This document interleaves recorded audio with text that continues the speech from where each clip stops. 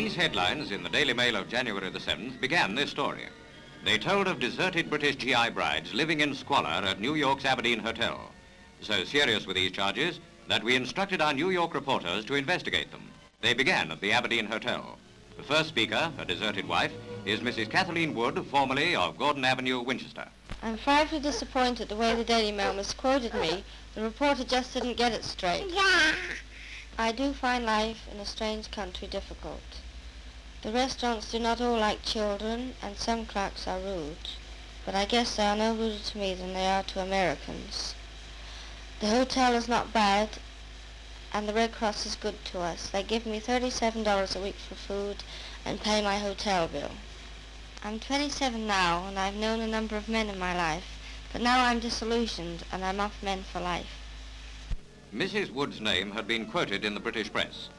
Our next call, therefore, was at the source of the bride's story.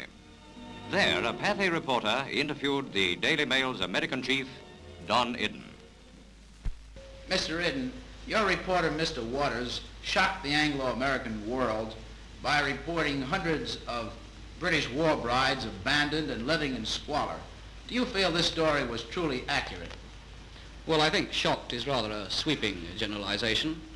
Mr. Waters, on the basis of these three uh, so-called abandoned girls, you, without verification, uh, wrote a story that referred to hundreds of abandoned girls. I uh, carried through with the story uh, to great extent. I followed it uh, through quite completely.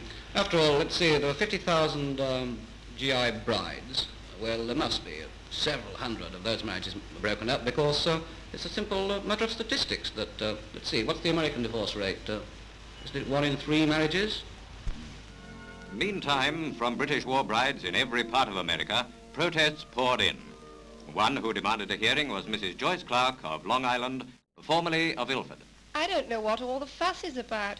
I and all the other British girls I know are terribly happy.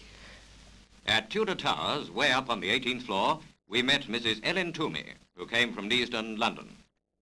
My husband and I feel that successful marriage is a matter of personality and not nationality. Other British girls joined the protest. To speak up for this group was Mrs. Margaret Byrne of London. We British war brides are gathered here today to protest against the awful charges printed in the London Daily Mail. We have all found happy homes over here in America and a warm welcome from everyone. And I think that that goes for 99% of us GI brides, at least for the good girls.